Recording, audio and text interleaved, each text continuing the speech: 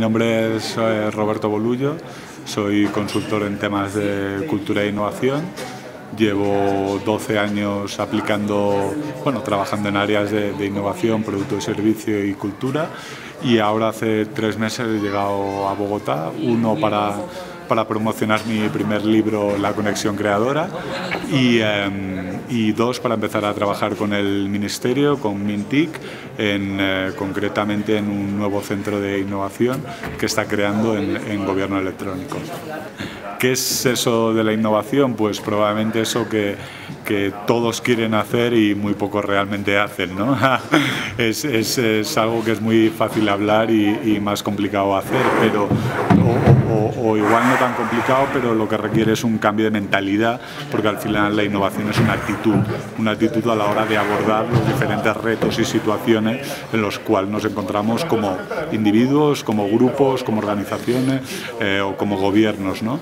Entonces, eh, por ejemplo, hoy en la charla eh, contaba cuatro cosas muy sencillas que podemos hacer para, para adelantar ese proceso de innovación. Una que es conectar con, con los ciudadanos, conectar con las necesidades reales que ellos tienen, con su estilo de vida.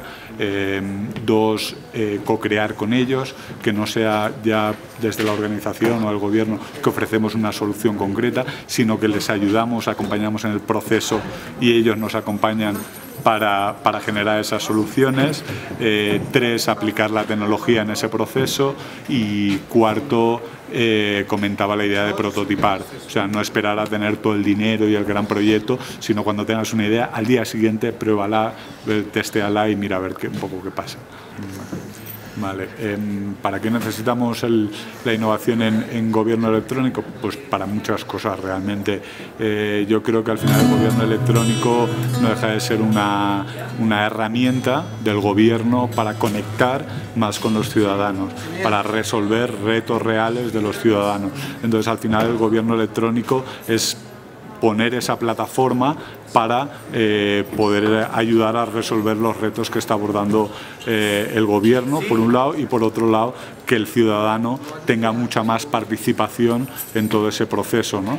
que pueda decir cuáles son sus necesidades, que pueda eh, buscar él mismo también cuáles son sus soluciones, que pueda facilitarle la vida haciéndole trámites mucho más sencillos y mucho más rápidos. O sea, hay muchas cosas que, que se pueden hacer, pero al final el gobierno electrónico no deja de ser una, una herramienta del gobierno para, para, para hacer mejor lo que tiene que hacer, que es gobernar.